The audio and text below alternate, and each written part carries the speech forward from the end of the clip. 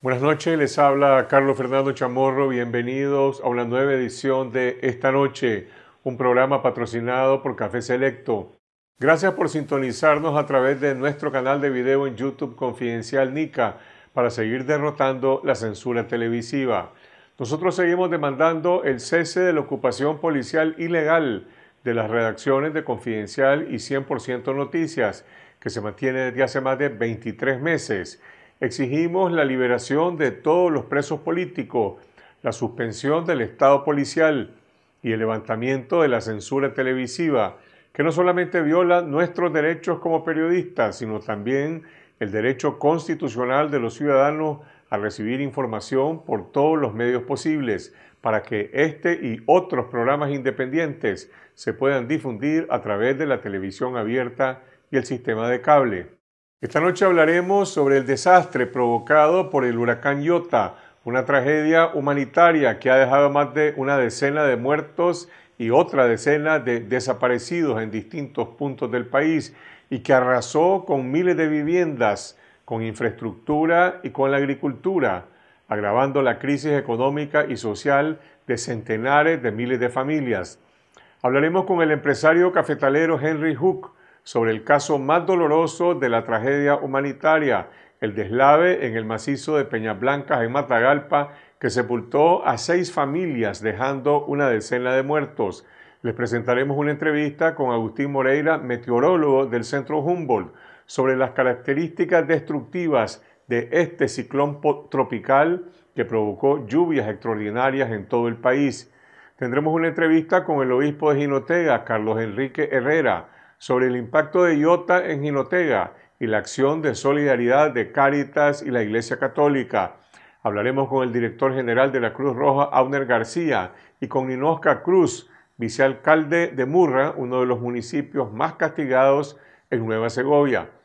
Y al final del programa, la caricatura animada y comentada de Pedro Javier Molina, el caricaturista de Confidencial. Empezamos con el reporte de las noticias del día.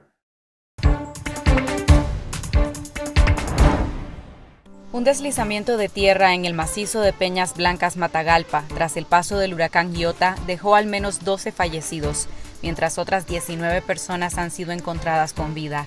Las labores de rescate aún continuaban la tarde de este miércoles. El deslave ocurrió el martes por la noche luego de que una roca del macizo se desprendiera, producto de las lluvias, provocando el deslizamiento de un río de lodo que soterró a seis familias. El ejército, la policía, el cuerpo bombero parece y, la población. ¿Hay menores de edad? Sí, hay aproximadamente uno de, de 10 aproximadamente y otro como de 6 meses. A la zona solo pudieron acceder medios oficialistas, pues la policía impidió el paso de periodistas independientes que cubrían la tragedia. La ciudad de Bilwi, en el Caribe Norte, ha quedado devastada tras el paso del segundo huracán en menos de dos semanas. Los vientos a 250 kilómetros por hora destruyeron el muelle y dejaron decenas de viviendas sin techo o en escombros. La red de telefonía volvió a funcionar, pero los servicios de agua potable y energía eléctrica seguían suspendidos hasta el miércoles. Aunque dejó de llover, varios barrios seguían inundados. Todavía no hay un informe oficial de daños. Departamentos del norte como Nueva Segovia, Matagalpa y Jinotega, así como Rivas y Carazo en el Pacífico, fueron también seriamente afectados, con ríos desbordados, comunidades inundadas y casas arrastradas. Hubo unos informes a las once y media de la mañana, 123.981 viviendas, o sea, el 10% de las viviendas electrificadas a nivel del país estaban todavía sin suministro. Son 46.321 en la costa caribe. En el caso del agua potable, 70.000 familias están todavía sin agua. Según el gobierno, hay 1.195 albergues activados, 2.300 casas solidarias y 160.000 personas que han sido evacuadas en todo el país. También aseguró que más de 103.000 personas realizan labores de asistencia en todo el país. El gobierno recibirá 10.7 millones de dólares por los daños ocasionados por el huracán ETA. Es el pago de una póliza del Fondo de Seguro contra Riesgos de Catástrofe del Caribe. 3.7 millones de dólares ya fueron entregados y el resto se pagará antes de este 19 de noviembre. El dinero debe ser utilizado para proporcionar alimentos, agua, medicamentos y refugio a los afectados, así como para la reparación de carreteras dañadas y otra infraestructura básica. A Nicaragua también llegarán 1.5 millones de dólares de la Agencia de los Estados Unidos para el Desarrollo Internacional para asistencia humanitaria. Los fondos se desembolsarán a través de organizaciones humanitarias internacionales. El Observatorio Ciudadano COVID-19 hizo un llamado urgente a las autoridades a tomar medidas ante posibles brotes de coronavirus tras el huracán Iota, teniendo en cuenta que la pandemia sigue presente en Nicaragua y el mundo la ausencia de medidas preventivas durante las evacuaciones y en los albergues, la contaminación de fuentes de agua y los daños a las unidades de salud preocupan al observatorio. En el comunicado llaman al gobierno a proveer mascarillas, promover el distanciamiento físico entre familias en los albergues, permitir la entrada inmediata de una misión de la OPS para evaluar la situación sanitaria, aplicar pruebas masivas de COVID-19 en el Caribe Norte y garantizar agua potable. Les invitamos a informarse con nuestra cobertura especial sobre el impacto y las secuelas del huracán Iota tras su paso por Nicaragua en nuestro sitio confidencial.com.ni, con nuestras alertas informativas vía WhatsApp y nuestros reportes y entrevistas en el canal de YouTube Confidencial Nica. Esas son algunas de las noticias que tuvieron más impacto en la jornada de hoy y ahora nos comunicamos con el empresario cafetalero Henry Hook presidente de Ramacafé, copropietario de la finca San Martín, una propiedad vecina de la comunidad de Los Roques a unos 25 kilómetros de la Dalia en Matagalpa, donde se produjo el deslave del macizo de Peña Blanca que ha producido una tragedia nacional. Henry, la información que hasta este momento han brindado las autoridades es que han logrado identificar cuatro cadáveres, entre ellos a una señora madre de dos niños y a otro niño. Han encontrado a cuatro personas con vida, entre ellos al padre de dos de los niños, pero hay un número indeterminado de desaparecidos. Esta tragedia se produce en una zona que está cerca de la finca, la propiedad tuya, en la cual algunos de los fallecidos y de los desaparecidos trabajaban. ¿Qué información tienen ustedes sobre la tragedia y el deslave? Tengo información porque el jefe de la finca de, apellido se llama Norla Motero y, y, una, un hermano de él que vivía en una de esas seis casitas donde sucedió la tragedia, eh, falleció o no lo encuentran, pues, y, y, son ocho, su núcleo familiar son ocho personas. Es el hermano de él que se llama eh, Fanor Otero y también hay un muchacho, Orlando Navarrete, que era el, eh, también el mano derecha de Norland, que creo que su esposa y sus dos niñas son las que tú mencionas ahí que están fallecidas, ¿verdad? porque no, no, se encuentran. Se han encontrado hasta el momento, hace 20 minutos hablé con, con las personas que tengo ahí yo eh, pendientes, solo habían encontrado como seis cuerpos, ¿verdad? Y, y había otra persona que se la habían llevado a la, un muchacho que se llama Carlos Hernández, que logró salvar a su esposa, a sus dos niñas y al suegro, don Gregorio, y una señora Elena Navarrete, que creo que son los sobrevivientes. Y este muchacho se lo llevaron de emergencia a la área porque para salvar a una de sus hijas se regresó eh, y, le dio una roca en la, en la cabeza, pero ya le dieron de alta, ¿entiendes? Henry, ¿cómo se produce el deslave? Si habla de que se desprendió una roca y que eso produjo prácticamente un río de lodo de, más de un kilómetro. ¿Esto se ocurrió mientras está lloviendo ayer en la tarde? Yo estuve monitoreando la lluvia porque nos venimos hablando con la gente nuestra en las cuatro fincas que tenemos y, y ellos estaban prevenidos, ¿verdad? De que iba a haber, venía el huracán y toda la cosa pero nos avisaron que, la, que el huracán iba a coger por San José de Bocay, la gente del ejército. Y este, esa es la finca que está más, más cerca de ahí, que es una zona protegida del macizo de Peña Blanca y, hay tendencia a, a eslave. Entonces llovió 10, 95 milímetros, cayeron la noche del 16 a, a las 6 de la mañana, hizo un corte y se comenzó a, no se trabajó ese día, solo andaban los muchachos dando vueltas por la finca. Y entonces eh, el, el, jefe de finca me llamó como a la una de la tarde del 17 para decirme que ya habían caído 100 milímetros de las 6 de la mañana a la una de la tarde. O sea, estamos hablando de casi 8 pulgadas de, agua. Y entonces, eh, eh, pues, estás hablando 230 pulgadas cayeron en menos de, 30 horas en esa zona. Entonces, eso afectó y una roca enorme, de, esas que son blancas, por eso se llama el macizo de Peña Blanca, se zafó y se trajo, como tú dices, la, la, tierra y aterró, me dice Pablo, que son como 600, 700 metros de largo, de longitud, y tiene hasta 200 metros de ancho de, en la parte más ancha. Pues de, o sea, ahí se llevó esas seis familias, quedaron aterradas. Todavía no se sabe, se sigue la, la búsqueda, está la gente que llegó ayer en la noche ahí, tuvieron que parar en cierto momento y avanzaron en la mañana. Esta mañana hablé desde las 3 de la mañana, los hermanos y todos, todos los familiares de estas personas se habían refugiado en la parte más alta de la montaña y ahí durmieron. Hasta las 3 de la mañana fue que bajaron a, la base de nuestra, donde está el beneficio, que hay una oficina y unos campamentos, y de ahí se quedaron refugiados y los otros muchachos eh, bajaron. Pero lo que pasa es que no, tienen, no tenían mucho batería. Eh, yo, yo ahorita no he podido volver a encontrar desde que me comuniqué como a las 7 de la mañana, que todavía estaba nublado y no se podían tomar fotos. Eh, me comuniqué con el jefe de la finca, me dijo que estaba con su familia, eran 11 personas, todos estaban bien, van a comer ahí todos y, y, no han podido volverlo a encontrar. Es peligroso, estoy eh, todavía con miedo de que, de que pase algo porque todo eso está flojo. Por la descripción que estás haciendo, esta es una zona de riesgo.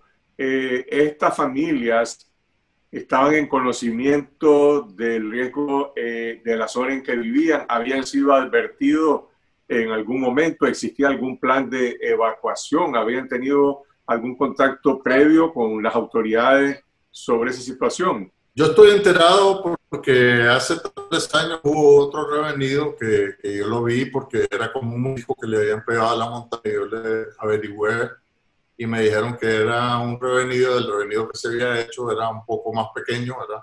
Pero como estas personas trabajan ahí granos básicos, dos son bosques cafetaleros, porque nosotros tenemos mucha, eh, hemos resembrado muchísimo ahí y protegemos la, por las aguas y todo eso, es zona, ahí hay mucho el marena y, y, y todo, ¿no? Pero esa gente se le había dicho en, anteriores y le habían ofrecido, estoy, estoy seguro, pues que el alcalde, yo hablé con él una vez, me dice, mira Henry, yo le ofrecí que se fueran y, y, hasta les iban a dar otras tierras y, no quisieron, porque tienen años de vivir ahí. Yo cuando llegué hace 25 años, ellos ya estaban ahí, pues son familia grande. Eh, eh, y entonces de la comunidad. Pero entiendo que también hacía ocho años le habían ofrecido y no, no se habían querido mover. Y entonces, como ellos viven de los granos básicos, de los frijoles, eh, eh, entonces ahí me imagino que eh, limpian, ¿verdad? Y, y, se puede hacer un revenido. Pero no creo, Carlos Fernando, que, ella, que sea por los cultivos de ellos, porque esto se ocasionó arriba. Esto es un movimiento que vino de esa montaña, llega hasta 1745 metros en la parte alta y tiene unas rocas enormes que, que a través de los miles de años que han pasado, ¿verdad? han quedado ahí y, y con esta lluvia, 230 milímetros, 24 horas, eh, tiene que haber lavado algo y desgraciadamente ya tocó pues que se viniera una roca inmensa que se trajo todo eso. Pero al producirse la información del huracán, primero el huracán ETA, ahora este fin de semana y el lunes el huracán Iota, eh, no había una información, no había un plan de evacuación, de alerta para que al menos se reubicaran en otro lugar mientras pasaba esta emergencia. Claro que sí. Yo, yo no estoy seguro si a ellos les dijeron, pero a toda la otra gente que vivía ahí en la misma quebrada, porque esa roca caminó tres kilómetros y a toda esa gente la habían evacuado. O sea, parece que estas son una gente que se les dijo y no hicieron caso.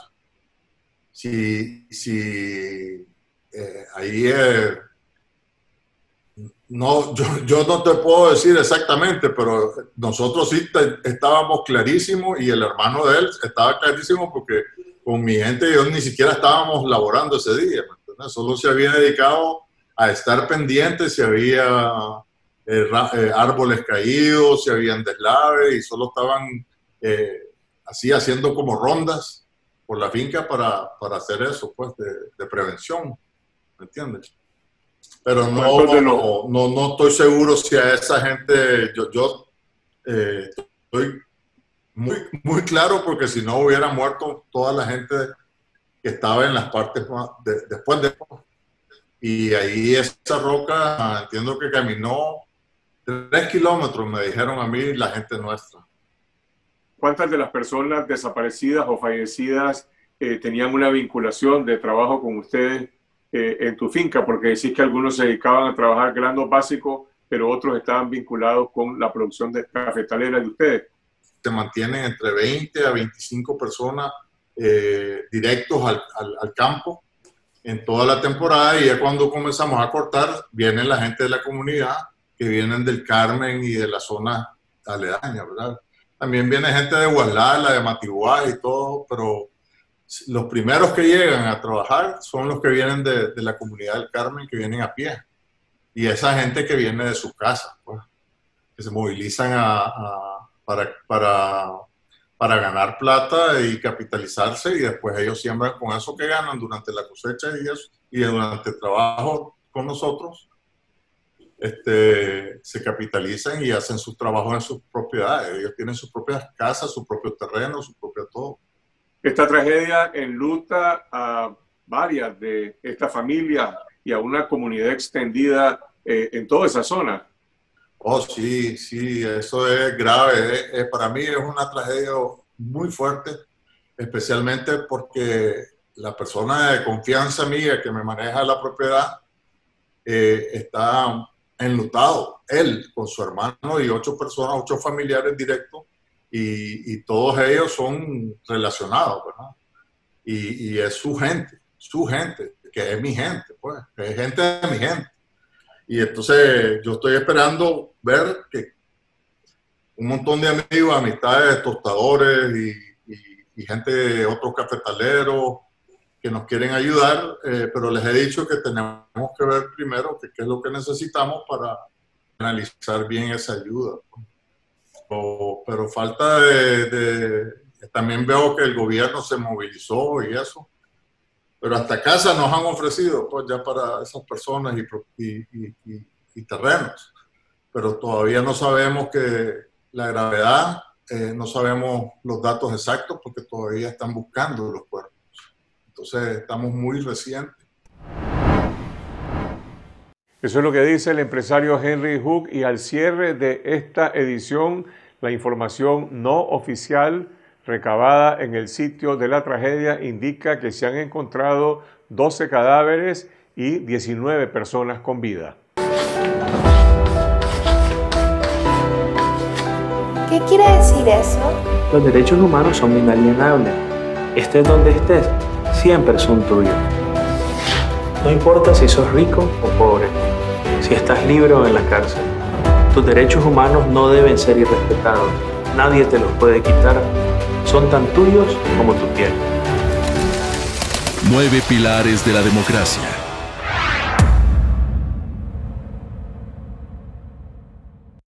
Continuamos con el impacto del huracán en Jinotega. Elmer Rivas conversó con el obispo Carlos Enrique Herrera y con Maritza Herrera del equipo de Cáritas de Jinotega y nos cuenta la historia.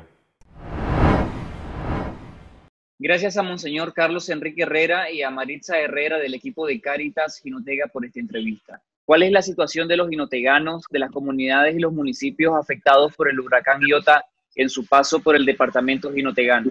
Ginotega fue bastante golpeado por el día de ayer, todo el día abundante, ¿verdad? Este flujo de lluvia, eh, muchos ríos se desbordaron, eh, las casas que estaban cerca de los ríos, de la quebrada, han sido destruidas, ¿verdad? Este, y tenemos un gran número después de, de diferentes municipios que han sido afectados, San José Bocay, eh, hay como ocho, nueve comunidades, prisioneros, Quebranta, Quebradón, eh, también de Fantasma, eh, Anisal, Carrillo, Sacramento, todos estos están sido, ¿verdad? Algunos lugares, unas familias evacuadas, eh, su vivienda en estos de, municipios de San José, Bocay y Fantasma. ¿Cuáles son las principales necesidades de estas personas evacuadas y damnificadas que usted mencionaba, que están en estos municipios y estas zonas afectadas? Ante todo, víveres, ¿verdad? Y también este, los medios, un poquito de ropa, eh, además de ropa. Y varía, ya es un poquito más mm, de más valor, ¿no? Este, reconstruir sus viviendas, tal vez en otros lugares más poquito más alejados, ¿verdad? De, de la cuenca, de los ríos, de todo eso. Maritza, cuéntenos cuál es el balance que tiene Caritas Ginotega sobre los daños que ha provocado el huracán Iota en, el, en las comunidades y municipios del departamento ginotegano. Eh, sí, en este momento eh, Caritas de Ginotega está en comunicación y en coordinación con los diferentes agentes pastorales en los diferentes municipios. Eh, todavía aún no tenemos datos concretos, sí, así de manera general, cuáles han sido los daños que han sido ocasionados en cada uno de los municipios. Sí, como decía Monseñor, tenemos el municipio de Bubilí como uno de los municipios eh, y San José de Bocay como los dos municipios más, con mayores afectaciones. En el caso, por ejemplo, de Maleconcito, tenemos 25 familias que perdieron su vivienda. Eh, en el caso de San José de Bocay, tenemos ocho comunidades que nos han reportado que familias fueron evacuadas y que han perdido total o parcialmente su vivienda. En el municipio de Fantasma también tenemos alrededor de nueve comunidades. Nos reportan que desde una de las comunidades de Pastastillal, por ejemplo, siete eh, viviendas fueron destruidas. Eh, en el caso de gente de la Cerrillo fue evacuada porque está a la orilla del río y fueron evacuadas hasta una iglesia para eh, tener refugio porque el río estaba crecido. En comunidades como el Cuá, eh, en municipios como el Cuán, las comunidades de Yaosca y el Bote, las familias están incomunicadas porque el río eh, se ha desbordado. En la comunidad de Yalí nos reportan algunos daños desde La Rica y en lo que es Jinotega hay afectaciones en las comunidades rurales en cuanto a las pérdidas de cosecha. Los productores han perdido casi totalmente en algunas comunidades las cosechas, los cultivos de maíz y frijoles debido a las inundaciones que provocó este huracán. Y en este momento, eh, Caritas de Ginotega está en la eh, recolección de información más específica para eh, poder cuantificar cuáles han sido los daños materiales y en todo lo que corresponde a los daños que han tenido las familias en estos municipios. En el municipio de Huihuilí se reportan dos personas fallecidas, padre e hijo, que fueron soterrados por el deslizamiento de tierra. Eh, ¿Cuentan con algún registro de más víctimas mortales con el paso del huracán en el departamento de Jinotega? Hasta el momento solo dos. Creo que también por allá, para el río. Pero lo más seguro de estas dos personas, ¿verdad? Eh, padre e hijo, iban de regreso y eh, por esa zona muy despalada ¿Cuál ha sido el rol de la Iglesia Católica en el marco de esta emergencia? Primero el huracán Eta y ahora el huracán Iota. Sí, a través de los sacerdotes que son los responsables de cada parroquia. En algunos lugares ha habido eh, albergues allá en Huibilí, se ha estado atendiendo, se ha prestado alojamiento a los damnificados en los lugares donde tenemos la posibilidad. Ya, en Huibilí, en Ayapal y en Bocay.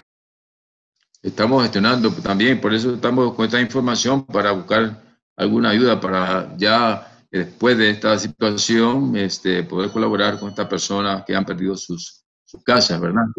La, la población civil ha denunciado que el gobierno ha intentado dar la solidaridad eh, a ustedes como iglesia, a Caritas, le han limitado de apoyar a la gente, a las personas evacuadas, a las personas afectadas en el marco de esta emergencia, primero con ETA y ahora con IOTA? Cada quien está haciendo su labor libremente, no, no hemos tenido, sí, no, no hemos tenido en este momento ninguna contradicción ni limitaciones. Nosotros estamos trabajando, la realidad, la crisis es grande y no podemos estar nosotros así, ¿verdad?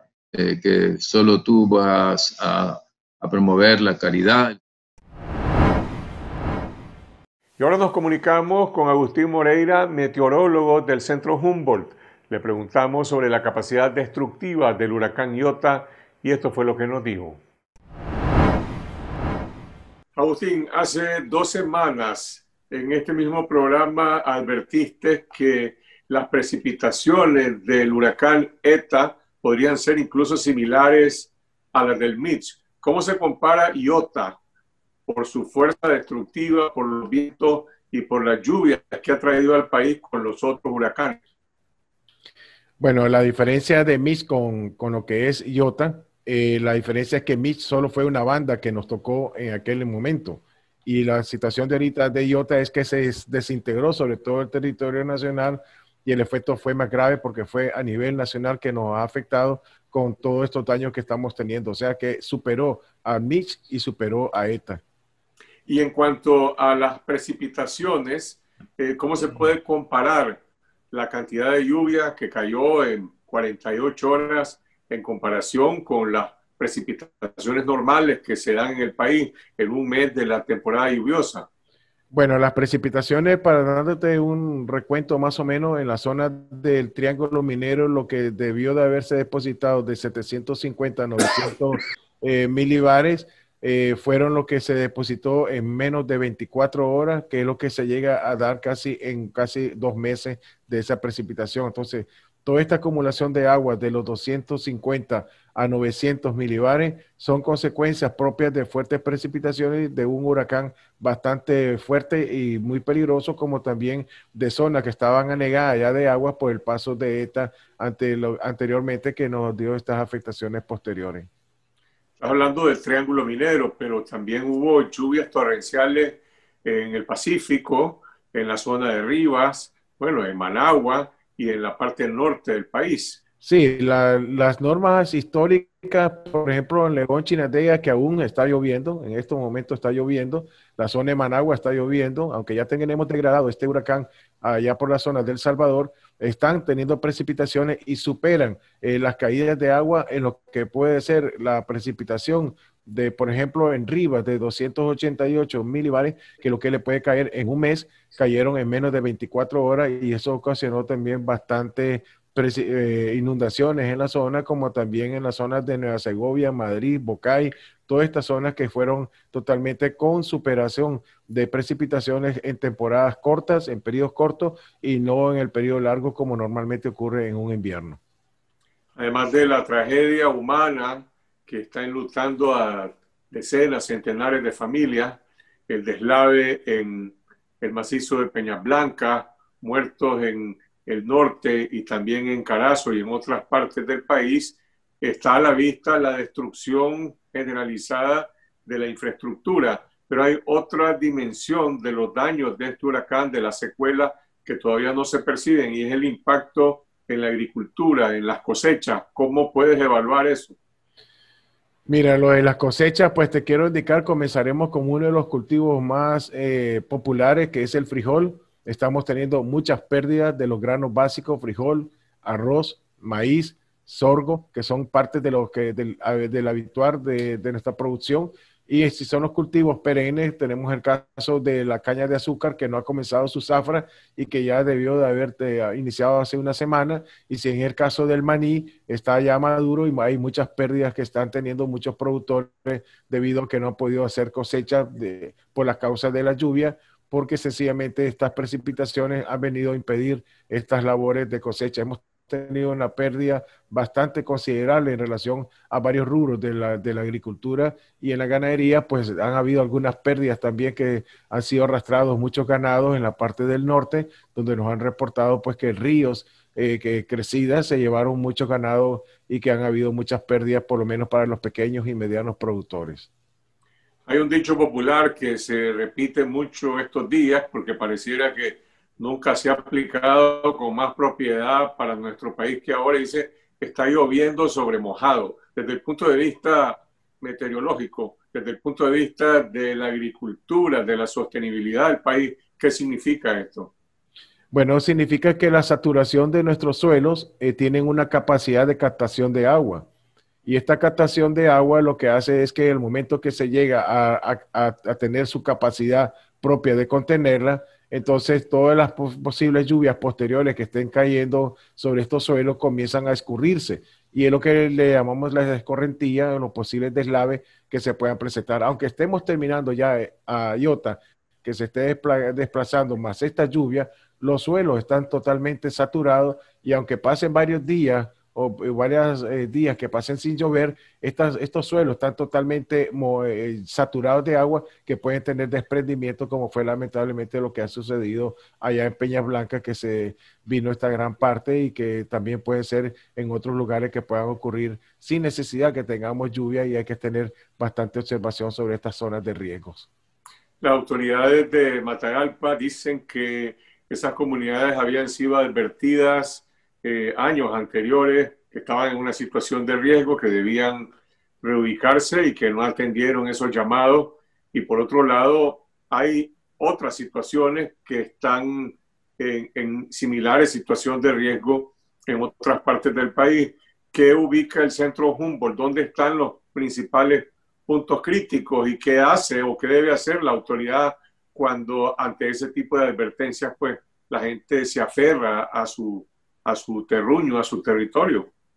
Bueno, ante las evaluaciones hay mapas de riesgo que se mantienen de altas posibilidades de inclusive de inundaciones como de posibles puntos de deslaves, como son por ejemplo en la zona de occidente del Casita, que ya tuvimos una experiencia, en las zonas de Managua, en las sierras, como también en la zona norte, en las zonas de Jinotega, Matagalpa, en la zona de, también de, de Peña Blanca, que son puntos críticos que puedan tener deslizamiento más que se agrega también el, fuerte despales que ha habido y que han hecho una modificación al paisaje natural y que más bien pues está causándonos estos eh, desastres que son ocasionados por el hombre por la alta explotación de la madera y esto viene a causarnos entonces estos eh, fuertes impactos que lamentablemente tenemos que estar teniendo bajas humanas debido pues a estas situaciones tan críticas que se presentan actualmente.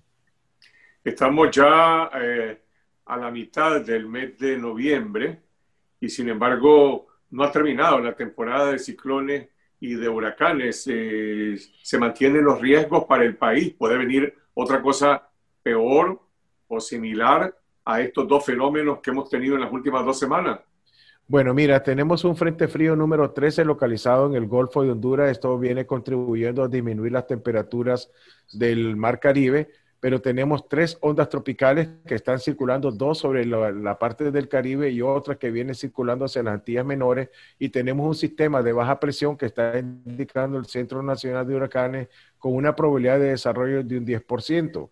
Pero este día jueves a viernes está ingresando una onda tropical sobre el territorio nacional, que es la número 46, que estará ingresando, generándonos aún todavía posible lluvia para este fin de semana que podríamos tener. Y esto nos viene a causar mucho más riesgo en relación a posibilidades de precipitaciones, posibles continuar los, los delaves y posibles inundaciones de ríos que aún no han bajado sus caudales y que, que aunque en este momento estemos teniendo menos lluvia, están siendo acumuladas en relación a posibles eh, catástrofes que podremos tener durante los próximos días si continúan estas precipitaciones a las cuales debemos de esperarlas porque aún no ha terminado la temporada de huracanes y el periodo lluvioso del año 2020.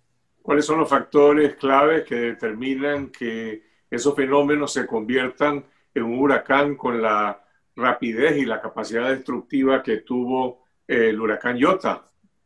Bueno, como ETA y IOTA, viste que las características fueron casi similares, con, solamente con una mayor incidencia de categoría 4 a categoría número 5. La mayor forma en relación de estos desarrollos ciclónicos son principalmente las temperaturas que tenemos en el Mar Caribe, que estuvieron superiores a los 29 grados centígrados, que son la energía potencial que tiene para las formaciones de estos huracanes y las formaciones también de, corrientes heladas y corrientes eh, calientes que están en la, en la atmósfera ascendiendo y descendiendo, generando estos grandes monstruos como son estos huracanes, principalmente el, el huracán Iota, que es un huracán que tuvo un ojo bastante definido, y al decir que tuvo un ojo bastante definido, estamos hablando que tuvo paredes de, frontales en todos sus círculos y posteriores bien desarrolladas y con cantidades de agua que son las que estamos teniendo estas grandes experiencias de, de grandes lluvias que se nos han presentado y que con estas cifras tan, tan lamentables que estamos teniendo de destrucción, tanto de infraestructuras, carreteras, como también de pérdida de vidas humanas que aún no nos hemos recuperado de, de ETA y otra nos vino a rematar con esta situación actualmente. Esos fenómenos están relacionados con el cambio climático. Estamos hablando de una situación estructural que están ahí para quedarse o, o tiene acaso, digamos, nuestra geografía alguna, alguna capacidad de mitigación frente a este tipo de situaciones o solamente se trata de adaptarse al desastre? Bueno, principalmente tenemos que adaptarnos porque hemos modificado bastante el paisaje natural, lo hemos hecho, eh, ya lo viste en Managua, hemos modificado las sierras descendiendo con, totalmente con, con calles donde están pavimentadas que vienen de las partes de las urbanizaciones que no tienen control de, de, poder eh, eh, de proteger lo que son las sierras, como lo vemos también en montañas que han deparado totalmente.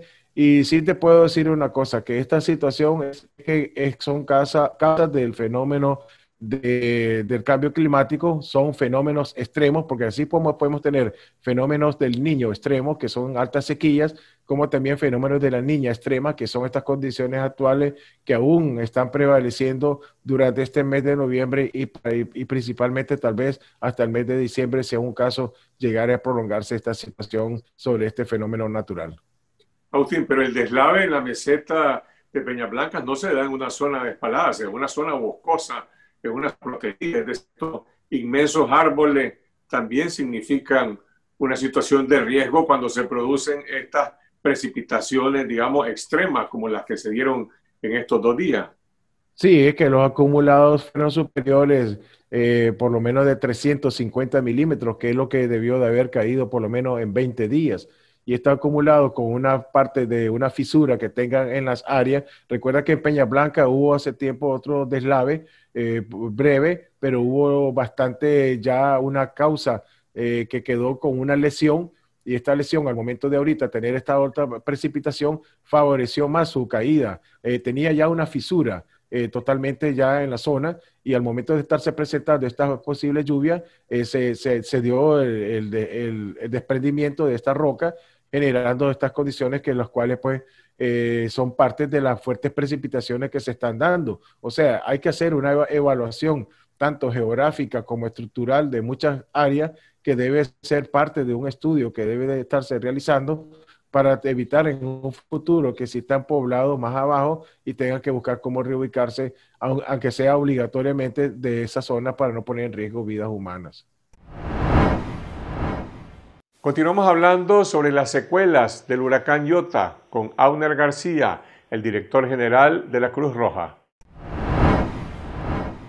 Auner, ¿qué información tiene hasta este momento la Cruz Roja nicaragüense sobre pérdidas humanas, sobre fallecidos como resultado de las secuelas del huracán Iota? Hasta este momento, la Cruz Roja Nicaragüense eh, confirma siete fallecidos, ¿verdad? De toda la información de los red eh, de comunitaria y la red de filiales que tenemos y la articulación que tenemos con el SINAPRED también. De último momento nos llegaba la lamentable noticia, ¿no? Del deslave en Matagalpa, eh, donde se registran cuatro fallecidos, cuatro personas encontradas con vida y aún siete desaparecidos, ¿verdad? Esta lamentable noticia nos está llegando de último momento. Eh, qué es la información en cuanto a, las personas fallecidas que eh, contamos en este momento. ¿Las son adicionales a los otros siete que has mencionado antes? Sí, son adicionales, eh, entonces estaríamos hablando de un total de 11 fallecidos, ¿verdad? En este momento, producto de los estragos del huracán Iota. eh, lamentamos mucho esta situación que se está viviendo acá y los estragos y las afectaciones que han habido lógicamente.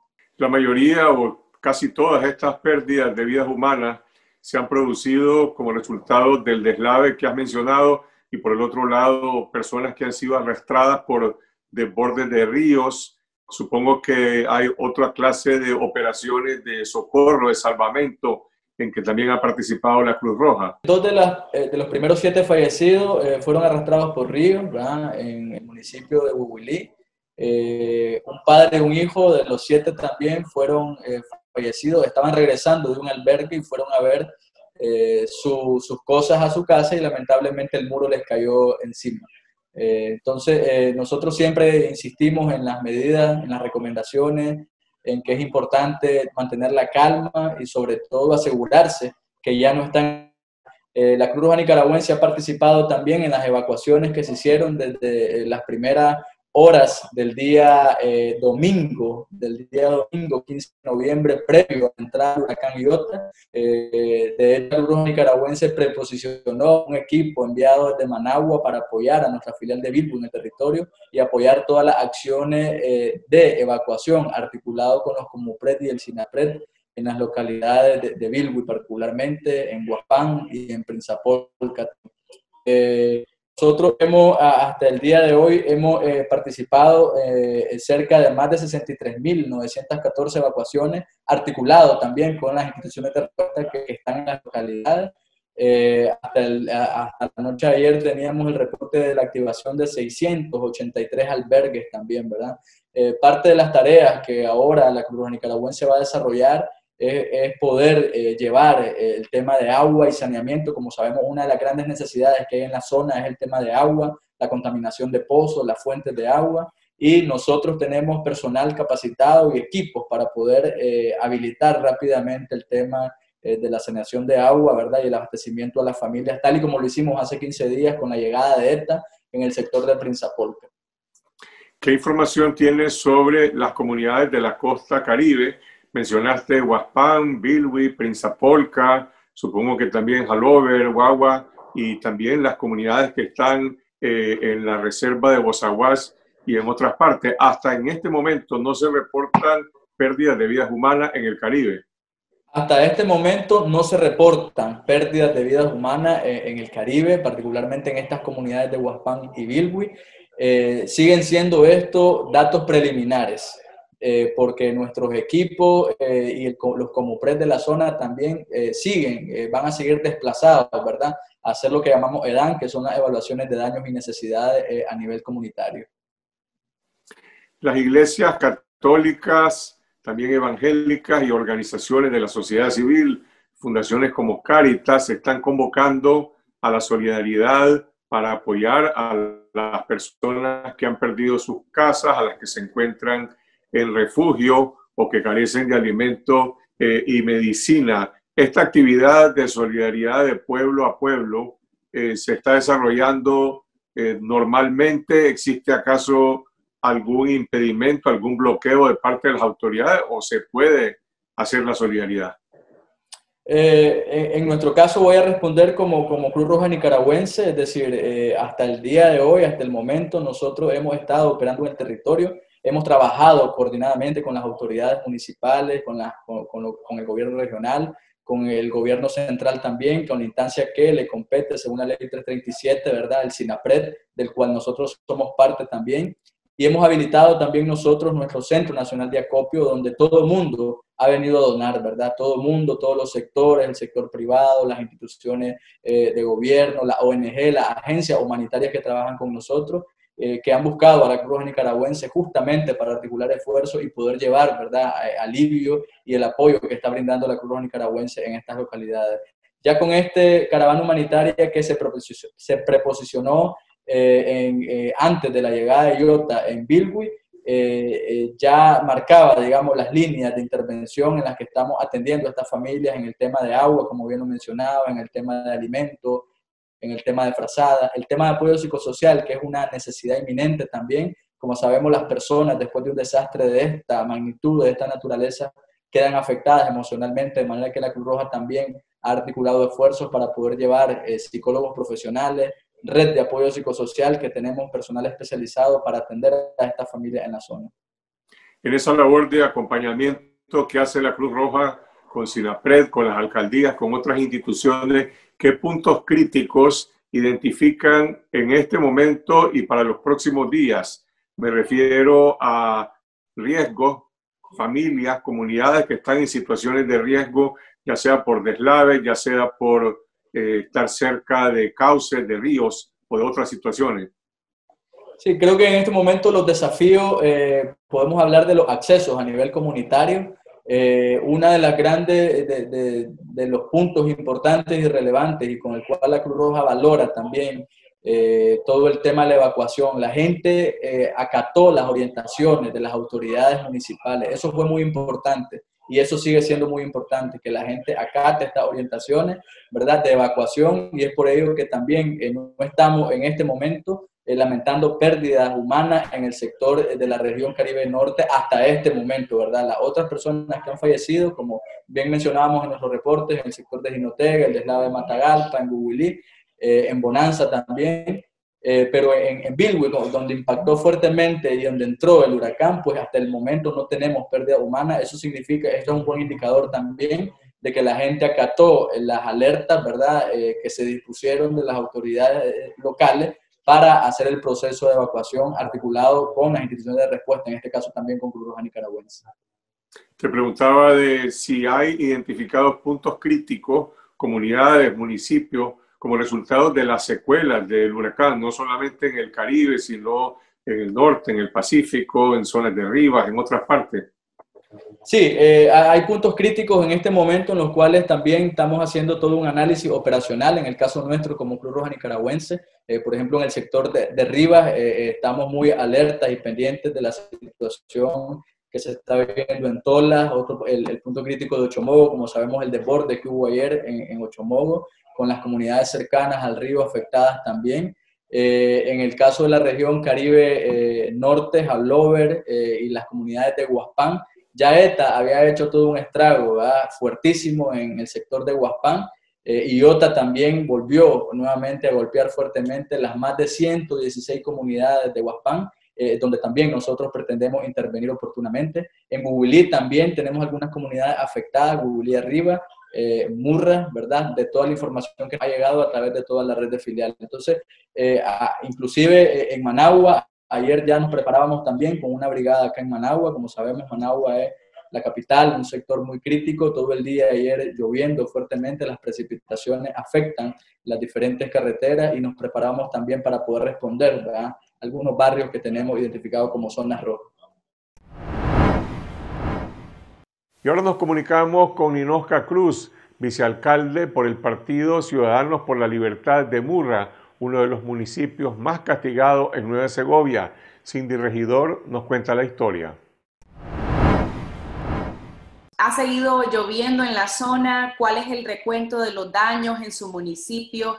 ¿Cuáles han sido las comarcas y las zonas más afectadas? Hemos tenido unas, eh, días duros porque pasamos el huracán ETA, que el cual nos perjudicó bastante también, y ahora pues con el huracán Iota, que también nos dejó más daños, bastantes daños.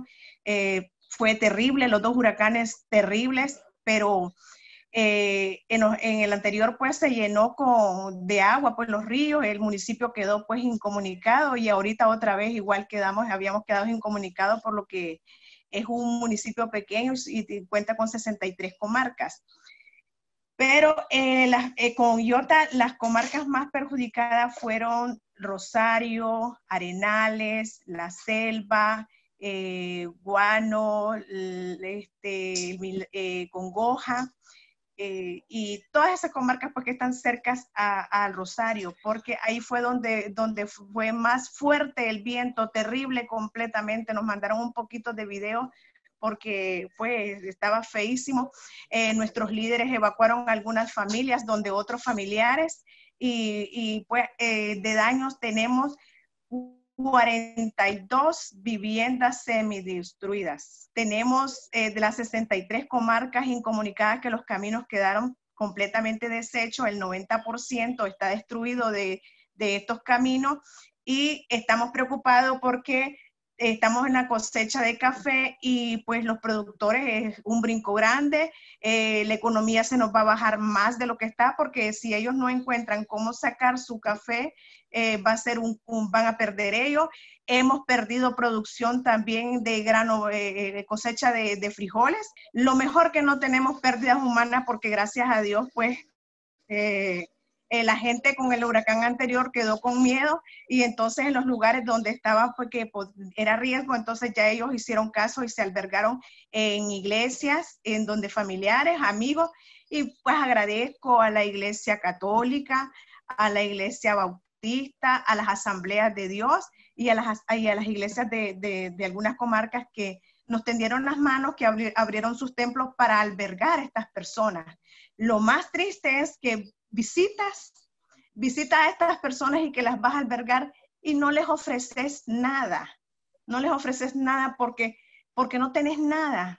Por eso agradezco mucho a las iglesias porque prestaron sus colchones que ellos tenían ahí y ahí pues las familias se quedaron. Hay todavía del huracán ETA más de 11 viviendas que se cayeron por completo que no se les ha dado respuesta. ¿Cuántas personas calculan que en total en todo el municipio fueron directamente afectadas por este huracán ahora? Mm, no puedo decir exactamente porque usted sabe que las familias varían entre, son familias entre 7, 8 en cada lugar porque en las comarcas hay, eh, las familias son grandes, no como, no como pues en el casco urbano. Pero es bastante, es bastante la, la, las personas afectadas. Eh, mm, es triste, es triste, es triste. Por eso mando un SOS para que nos ayuden en emergencia, porque aquí estamos solos, solos, solos, solos. Doña Ninosca, ¿cómo ha trabajado la alcaldía para evacuar y prepararse ante el huracán Iota? Usted denunció junto a otros alcaldes de partidos opositores que los comités municipales para la prevención, mitigación y atención a desastres no fueron debidamente activados. ¿Qué fue lo que sucedió en el caso de Murra? El alcalde hizo un llamado a las instituciones del Estado para formar el CONAPRE y estar preparados desde el huracán ETA. Pero desgraciadamente el asunto político eh, es más, más duro que a saber qué, que a las necesidades de las personas. Eh, eh, no asistieron las personas que el alcalde invitó para formarlo, solo asistió la cooperativa Flor de Café y en conjunto con trabajadores de alcaldía municipal y, pastores pues que asistieron, se formó. Así se quedó formado y eh, continuamos trabajando. Eh, la labor, pues gracias a Dios, eh, la, hemos realizado trabajadores de alcaldía, trabajadores de alcaldía y líderes, líderes que en diferentes comarcas estuvieron trabajando en, en, cada, en cada momento, viendo, a las personas. Quiere decir entonces que no acudieron al llamado y no se hicieron presentes al municipio. Policía, ejército, funcionarios de SINAPRED, ¿no han llegado a Murra? Ellos vinieron, pero ellos andaban por su lado y nosotros por nuestro lado, pero la idea era trabajar organizados. El alcalde los llamó eh, trabajar organizados y ellos no asistieron. En esta situación, no tenés que andar haciendo esto, esto es humanitario, esto es una, una necesidad grande. Si realmente amamos a nuestro pueblo, tenemos que trabajar en conjunto porque juntos se trabaja mejor. ¿Ya? Yo creo que lo, lo, lo, partidario, creo que las personas no vamos a dejar, dejar, de ser lo que somos. Cada quien es libre de pensar y decidir a lo que quiere. Pero en esta situación, el Señor nos ha dado que tenemos que amar a nuestro prójimo y creo que eso no se está dando. No fueron convocados a las reuniones con los otros como PRED, con las otras municipalidades, para saber cómo iban a hacer o gestionar un plan ante la llegada del huracán en ningún momento el alcalde no me dio a conocer si no, no, no, no, no fuimos convocados. Él solo me invitó y no lo convocaron a ninguna reunión para formar parte del CONAPRED. Para nada. Aquí para nada. Por eso le vuelvo a repetir. Estuvimos solos y seguimos solos porque transferencias para dar respuestas a esta situación tan terrible de estas cuarenta y pico viviendas que están deterioradas y hacer llegar a esa familia no sé cómo le vamos a hacer, no sé cómo, cómo, cómo vamos a enfrentar esta situación, porque estamos, es raquítica la transferencia que el gobierno nos ha quitado una gran barbaridad, el cual no podemos darle respuesta a caminos ni a la situación que tenemos ahorita. Por eso, vuelvo y repito, pido ayuda para mi municipio, aquellas manos amigas que por favor eh, nos ayuden a, darle respuesta a esta familia y que en esta Navidad esta familia pueda regresar a pasar a sus casitas con sus hijos. En este momento, ¿cuáles son las principales necesidades que hay en su municipio? Las principales necesidades es, pues, bueno, levantarle las casas a las, a las familias anteriores que fueron afectadas por ETA y ahorita también igualmente hay techos que están destruidos eh, la gente perdió sus cosas porque salió inmediatamente. O sea, usted sabe que un aire es imprevisto. Ellas salieron inmediatamente y no se llevaron nada, solo se fueron con lo que ellos andaban puestos. O sea, que esta, gente está sin alimentación, está sin ropa y a saber cómo estará pasando ahorita, porque como está del vecino, pues el vecino, pues el, el, pariente, pues le da de comer. Usted sabe que en los pueblos es diferente, unos a otros nos ayudamos. Y de nuevo, ni usted ni el alcalde han logrado comunicación con las autoridades gubernamentales para saber si van a recibir fondos, si van a recibir apoyo, asistencia humanitaria. ¿No les han dicho nada? Absolutamente nada. Hasta el momento no tenemos, no nos han dicho nada, no nos preguntan nada. Pasó el primer huracán, aquí no vinieron ni preguntaron cuántos daños hay, absolutamente nada. ¿Qué le nada. Por eso le vuelvo a repetir, estamos solos ¿Usted qué le diría al gobierno y a las autoridades en este momento? Yo lo que le diría al gobierno es que cuando uno gobierna, gobierna para todo un pueblo, así como tiene que gobernar él para todo un país. Y creo que eh, el daño no se lo hace ni a los alcaldes ni a otras autoridades, el daño se lo está haciendo a un pueblo. Ahora, con esto que tenemos, no sé qué, qué, qué, qué vamos a hacer, por eso, eh, pues por último ya pido a los embajadores de, diferentes de diferentes embajadas que por favor no olviden la alcaldía de Murra, que está, esta gente está necesitada que por favor a la Unión, a, la, a la, ONU que va, va, a mandar esa ayuda, que por favor ellos se encarguen de distribuirlo, porque como alcaldía yo pienso que vamos a quedar siempre olvidados solo por no pensar como piensa nuestro presidente. Continuamos con la caricatura animada y comentada de Pedro Javier Molina, el caricaturista de Confidencial. Hola gente, todavía acá tratando de procesar la gravedad del paso de Iota. No sé ustedes, pero a mí me resultó repulsivo cómo al repasar mis redes sociales me salían las imágenes del desastre, la desesperación, el peligro, la angustia de la gente, mezcladas con imágenes de las ridículas campañas propagandísticas de la dictadura, ondeando banderas y coreando alegres vivas a los dictadores mientras el país literalmente se ahogaba. Así como le dieron la bienvenida a la pandemia, se la dieron al huracán. Y ya no digamos el video de la comparecencia de la pareja dictadora el día en que entró el fenómeno natural. El único momento que Ortega le dedicó a la emergencia fue para no saber ni distinguir el norte del sur o el sur del norte. El resto se la pasó tirando indirectas, volviendo a su disco rayado del imperialismo para terminar irónicamente pidiéndole reales a ese imperialismo. Vean las prioridades del dictador solo sale para celebrar sus policías y sus soldados, pedir que le quiten las merecidísimas sanciones y que le den plata. La democracia, la libertad, la vida de todos los nicas, todo eso para él pasa no al segundo ni al tercer plano, sino al quinto infierno. Mientras, la gente se ayuda como puede, incluso clandestinamente, pues el régimen Ortega Murillo ha llegado al extremo de criminalizar hasta la solidaridad. La comunidad internacional debe tomar nota de todo esto, no quedarse solo con la momentánea y farandulera fachada de apoyar al país luego de esta desgracia.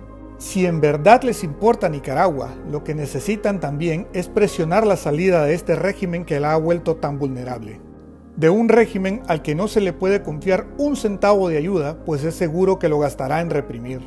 De un gobierno que no gobierna, solo manda e impone. Silencio, miseria, olvido, cárcel, exilio, muerte y destrucción. Cambio y chao.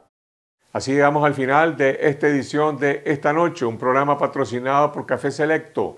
Gracias a todos los medios radiales, televisivos y digitales que se enlazan con nuestra señal para seguir derrotando la censura televisiva. Y si aún no lo han hecho, suscríbanse a nuestro canal de video en YouTube Confidencial Nica. Síganos en Twitter a lo largo de la semana. Y si desean recibir todos los días información verificada con las alertas noticiosas de Confidencial, los invitamos a suscribirse de forma gratuita al número de WhatsApp 8577 1820. Nos vemos el próximo domingo en esta semana, siempre a las 8 de la noche. Buenas noches.